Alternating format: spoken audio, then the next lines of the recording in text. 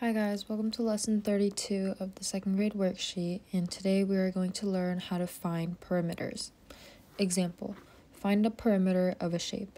A perimeter is the length of the entire shape. So when we're looking at the example rectangle, this side over here is 4 feet, which means the same side over here will also be 4 feet. This side is 7 feet, so the same side over here will also be 7 feet. So to find the entire perimeter, you're just going to add all the sides together. So 4 plus 4 plus 7 plus 7. We're going to add all four of these numbers together to get 22 feet as our perimeter. Alright, let's try number 1. This one we have all of the sides.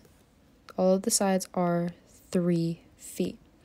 So just like the example, we're going to add all of the sides together. We have 3 plus 3 plus 3 plus 3. What is 3 plus 3? 3 plus 3 is 6. And these two, 3 plus 3, is also 6. So 6 plus 6 equals 12. So the answer is 12 feet. All right, number two. We have 4 feet here, 4 feet here, and 4 feet here. We're going to add all of the numbers up. So 4 plus 4 plus 4. Oops. What is 4 plus 4?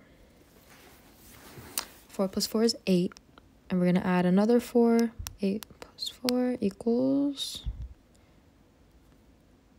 8 plus 4 equals 12 also. So the answer is 12 feet. Alright, let's do some over here. Let's just do number 3 we have 5 feet, 5 feet, and 4 feet, 4 feet. Now we're going to add all of them together. We have 5 plus 5 plus 4 plus 4. Let's do 5 plus 5 first. What's 5 plus 5? 5 plus 5 is 10. What is 4 plus 4? 4 plus 4 is 8, and now we're going to add these two numbers together. What is 10 plus 8? 10 plus 8 equals 18. So the answer is 18 feet. Alrighty. Now let's move on to writing fractions. It says write a fraction that matches the picture. All right, number one, we have one square shaded in, and the rest of the three are blank. So how many squares do we have in total?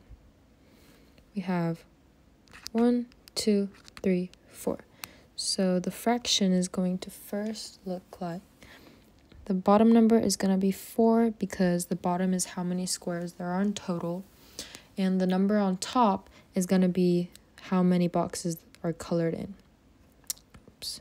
So in number one, only one box over here is colored in blue, so it's one out of four. Same thing for number two. How many boxes are there in total? We have one, two, three, four boxes in total. So same, we're going to put the four on the bottom.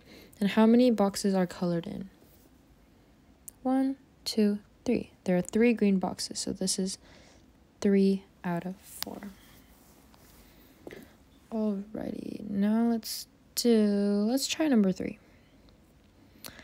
We have, how many boxes do we have? One, two, three, four, five, six. We have six boxes in total, so we know the bottom number is going to be six. And how many boxes are colored in? One, two, three, four. Four boxes are colored gray, so the top number is four. Four out of six. Word problems. You see a square that has a side length of six. What is the perimeter of the square? Alrighty, so let, first let's draw a square. It's kind of bad. Let me draw it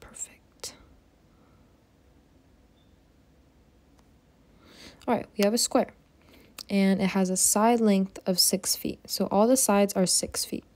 So we have six, 6, 6, 6. All four sides are 6 feet. So what do we do here? We add all the sides together, remember? So we're going to do 6 plus 6 plus 6 plus 6 because we have four sixes in total. So let's try that. What is 6 plus 6?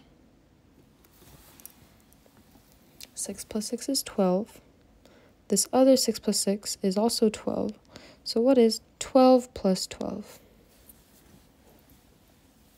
Try to use your mental math brain. 12 plus 12 equals 24.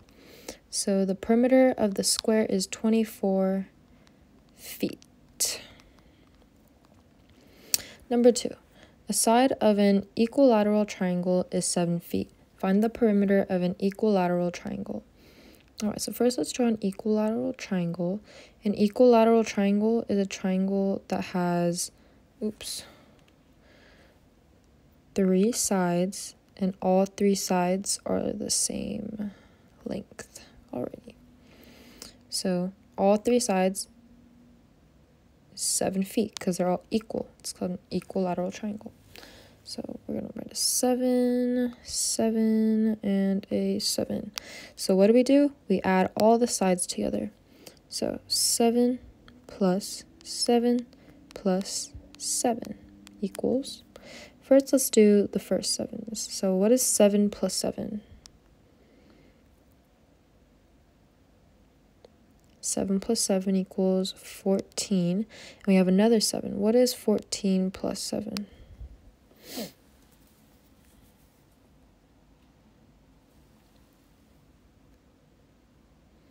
14 plus 7 equals 21. So the answer is 21, oops, 21 feet.